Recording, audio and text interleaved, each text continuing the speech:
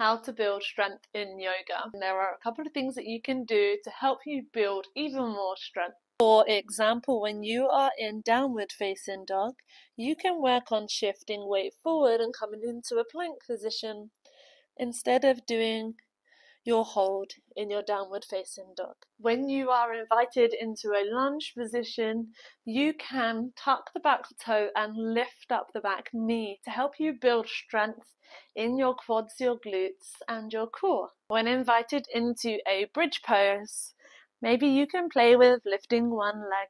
This will help you create strength in your glutes and your core and your quads. And lastly, when you are doing balance poses like hand to toe, you can release the hand and work on holding, holding the leg up here to build strength in your legs.